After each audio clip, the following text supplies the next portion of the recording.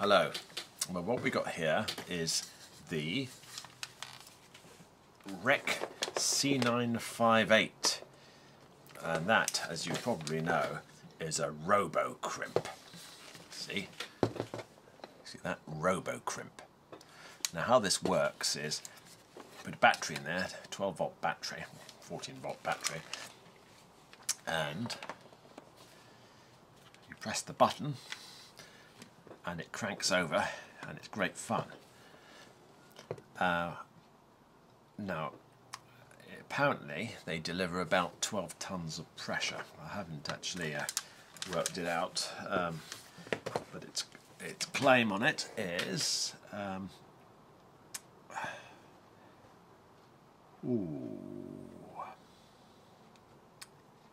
Oh no, it's six short tons. Six short tons. Well, everyone knows what a, sh a short ton is so I shan't go and describe that to you. It's working on 14.4 volts DC and drawing 220 watts. Now I bet you'd like to see it working. Well, I haven't got a battery for it and you probably got one similar without a battery. Now it's a simple two terminal battery and what I've done here I've scratched plus sign so you know which side is the positive terminal. Now, if you had an old battery, you could use that as a. Um, I haven't, so what I'm going to do is to get the appropriate wire.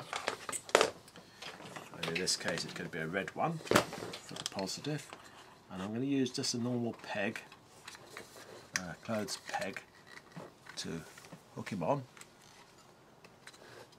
into position. So we've got a good grip on it. And then I'll take the black wire. Except this has come undone.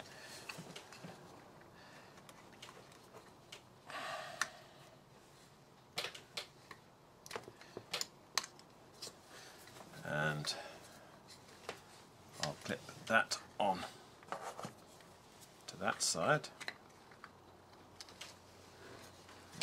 seen it what I'm doing here was I've got the camera in the wrong place. There we are. Two wires, two wooden pegs, and then I've got an old-fashioned gypsy peg, which is going down in between to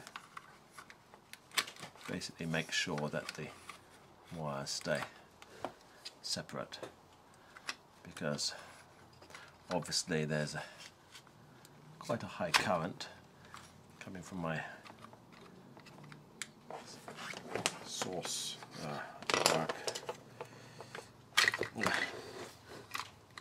It worked fine in the pre um,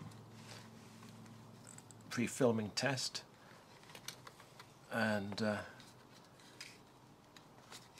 it's because I'm being watched. Look away a second and I'll get it done. There. That's good. Right, now what I've got is my battery charger, which is producing um, 12 volts, um, and I should connect this up. You have to be patient because I've got the camera, I see, I see now in a completely wrong position, and you can't see very much. Um, but almost done, one more connection, and that's it, there. Okay, so now pressing the trigger like so. I've lost power, wait a second.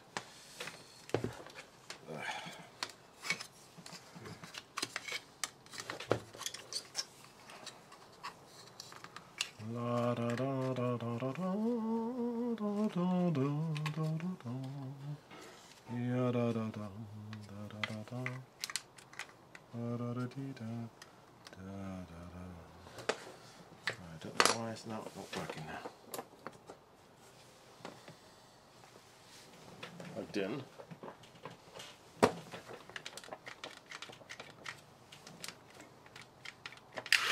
There we go. Must be a backup there. So we got um, watch this. Don't put your finger in it there.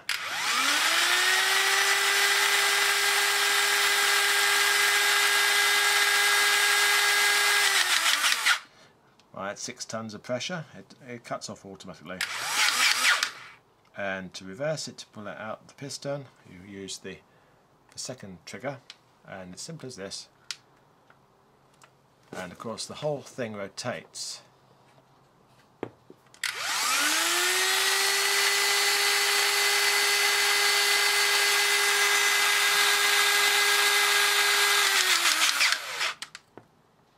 Now you're asking yourself the question as to what it looks like when it's squeezing something, aren't you?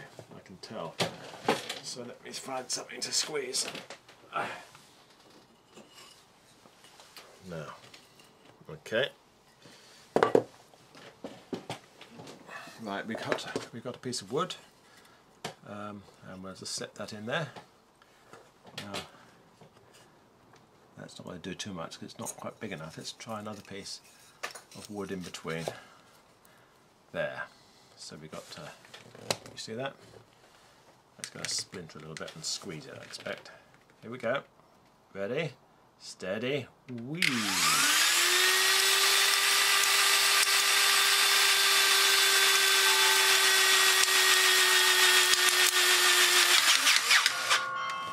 Now that is what you call fun. So we've crushed the, the wood and now we're going to press the release. See how quickly it releases it? And here's what the wood looks like now. So that's, uh, see the indentation there? Now of course the um, the wood is very resilient, this particular type of wood, it's just a piece of bat roofing batten and um, and so that, that's actually squashed quite considerably. Um, so a lot of the pressure has been uh, has been absorbed by the fibres, um, the flexibility of the fibres. But you can see how if you had a, a, a pipe and you wanted to, uh, to crimp a metal a metal um, sleeve around it or or something like that, um, there's a, a lot of lot of pressure there, and with the right tool in it. So you get these are like dies in there where you can uh, release them and change them over. And uh, well, this is a, a great fun tool, and one thinks that even outside of using it for it, its original specialist purpose, that it could actually be uh, adapted uh, for something else. And maybe I'll make another video uh, showing it being used for something spectacular. I think that might be good fun. What do you think? So here we go again as it closes.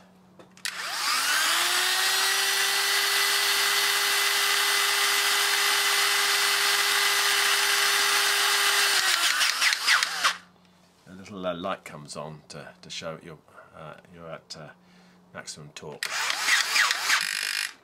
And then open up again. So that is it. These uh, tools are about uh, um, £1,200 to buy new, so it's an expensive tool. Um, and it's a, it's a fun tool. A fun tool. I think every boy should have one. Thank you for watching.